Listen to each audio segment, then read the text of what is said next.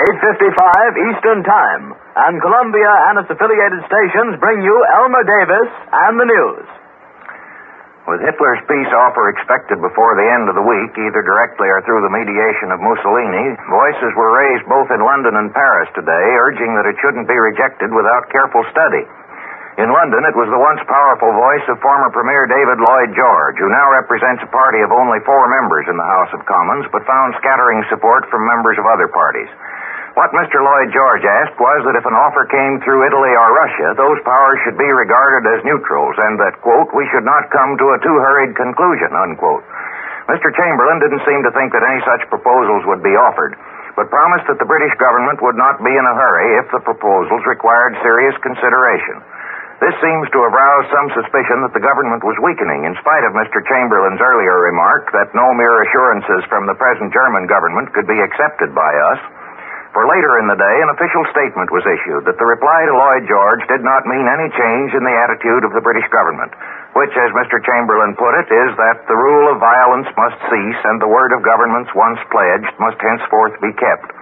Lloyd George himself had said that if peace depends on the word of Hitler, we must proceed till we get some more assured guarantee. In Paris, 43 members of the Chamber of Deputies who belonged to the lately dissolved Communist Party and now to its successor, the Workers' and Peasants Party, said that there should be no offhand rejection of peace proposals without looking them over. This immediately stirred conservative papers in Paris to denounce the ex-communists as agents of the enemy, and they talked of a trap laid by the coalition of the East. This is stronger language than the British are using about Russia at present. The Russians, however, are using strong enough language about England.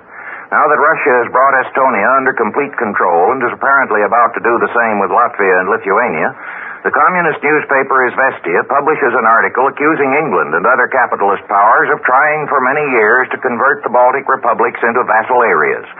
Details are not given, but presumably this refers to British operations through the Baltic states against communist Russia 18 or 20 years ago. At any rate, what Russia is doing this week is represented as liberation of the Baltic states. In Berlin, German officials say that the talks of Hitler with Count Ciano, the Italian foreign minister, who has now gone home, dealt not only with a peace offensive, but with a possible intensification of the war if the peace move is rejected. They speak, too, of measures for the preservation of common Axis interests, and the German newspapers suggest that if the peace offer is refused, Italy may enter the war. But all this talk of what Italy may do comes so far from Berlin. Rome is very reserved about it.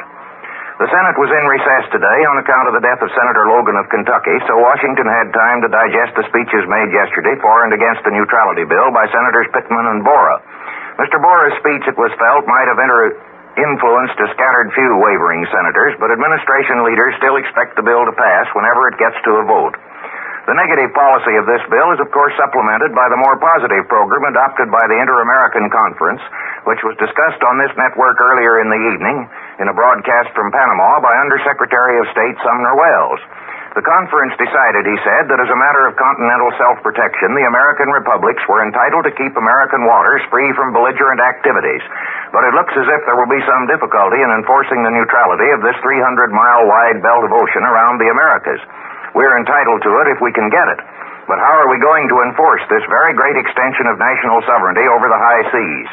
Mr. Welles says that the 21 American republics, acting through the President of Panama, will make a joint representation to the belligerents, tell them what we want. But suppose they don't do it.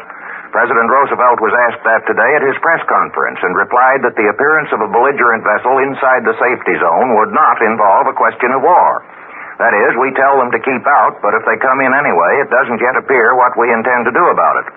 More hopeful were the promises that American shipping facilities to Latin America will be increased.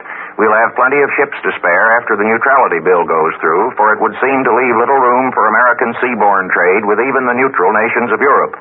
And Mr. Roosevelt said today that at the next regular session of, Con- session of Congress, he would ask for $400 million additional credit authorization for the Export Import Bank to finance our trade with Latin America. This is the Columbia Broadcasting System.